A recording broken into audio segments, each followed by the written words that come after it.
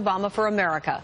Sean Spicer is the communications director for the RNC. Sean, good morning. Good morning, Chris. Thanks for having me. Uh, a DNC spokesman says it's kind of an odd way for you to start your meeting by attacking them. He says your only real unifying message is that they really don't like us. What do you say to them?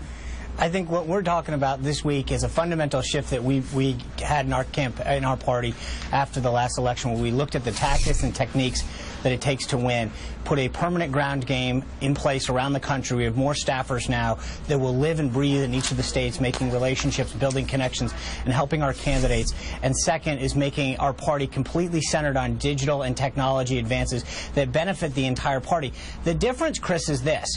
What we are doing is a fundamental shift for a party party. We are building a party-centric uh, change here that will benefit everyone who's running from city council all the way up to the presidency.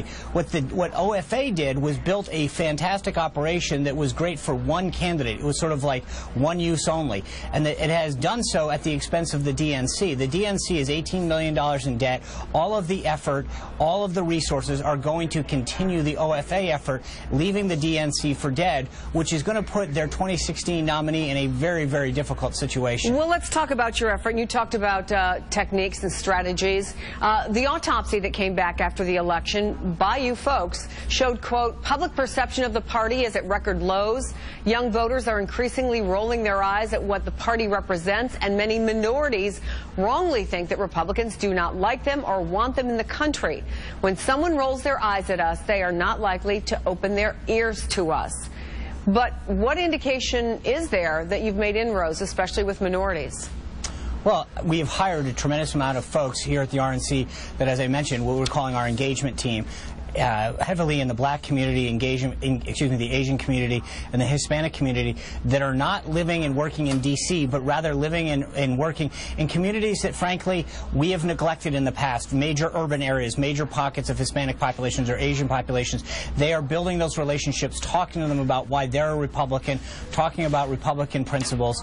And well, let me, let me ask you about one of those particular pockets. Uh, in May, we saw the head of your minority outreach in Florida switch parties over what's going on with immigration. A lot of House members resistant to any kind of immigration reform. And, and you have Congressman Steve King saying immigrants have calves the size of cantaloupes because they're running drugs.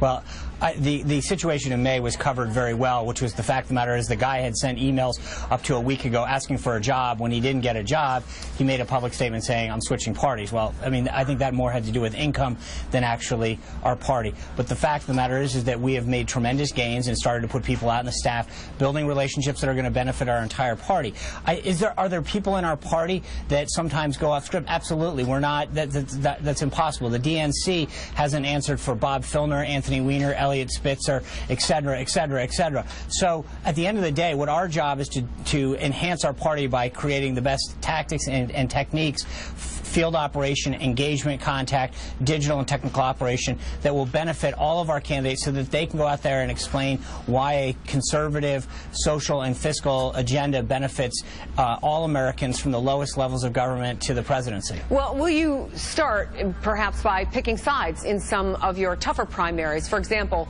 will you support Senator Mike Enzi in Wyoming over Lynn Cheney? The RNC has a rule. It's Rule 11. It's in our bylaws. It's online that prohibits the RNC from getting involved in primaries. That that. But didn't so, you back Charlie Crist over Marco Rubio no, and David no, we Dewhurst? Didn't. No, actually, we didn't. The NRSC did, the senatorial committee. Wyoming leaders the, say they're they're very concerned, and in fact, they put out a statement saying, uh, talking about that. Okay the NRSC, which is the National Republican Senatorial Committee, has in the past gotten involved with elections. It changes from cycle to cycle. Their current policy, which has been the majority of their policy, is to back incumbents. They're backing Senator uh, Enzi. Our party is largely at the campaign level backs incumbents. The RNC has a rule that prohibits us from getting involved in primaries unless there is a vote of the three officials that, that from that state to to grant a waiver. So okay, so let occurs, me just make sure I understand what you're saying because the, the people from from Wyoming have said they're going to come to this meeting where you are right now, and they basically are going to say, we want you to stay out of this. But are, since he is the incumbent, will you back Senator Enzi? Okay, I'm going to explain this to you again. Okay. There's a rule that says Rule 11, it's online on the website that's existed forever. It says the RNC cannot get involved in primaries unless the three members, the National Committee woman, the National Committee man, and the state chairman, all unanimously agree for a waiver. If that occurs, then yes, the RNC can get involved in the primary situation. Barring that, we are prohibited from doing that. So if the Wyoming uh, state chair says no, then you stay out of it. It's just that simple. If all three, any one of those three object, yes, then we, we stay out. However, as I pointed out, the Senatorial Committee and the National Republican Congressional Committee both can set their own policies as how they want to govern campaigns at their level. From an RNC standpoint, from a national party standpoint, we have to follow the rules that our grassroots vote on. We see, uh, you know, some some split in the Republican Party, and I'm wondering what the sense of it is there, Sean. It, seemed for a while like it was Tea Party versus the establishment. Uh, you know, members of your party leadership even even talked about that. Now it seems like uh, the Libertarian wing is almost breaking off and picking up steam, led by Rand Paul. How will you address that at this gathering? Well, I think we've got, uh, I mean, frankly, at the end of the day, this is a, a party that welcomes uh, all of those factions that you just mentioned. We are better and stronger and can only win when all of those people are together working as one for a common goal. You saw the effect that the Tea Party and the folks in the Liberty Movement had in 2010 with us being able to take back the House, and, and, and they are an important and increasingly vocal part of our party that is critical for us to, to keep an eye on and, and make sure that we're listening to them because um, they are they are the folks that are out there knocking on the doors, sending, posting things on Facebook and sending things on Twitter. So there's room for everyone. This is not an either or situation. Sean Spicer, Communications Director for the Republican National Committee. Good to see you. Thank you. Thank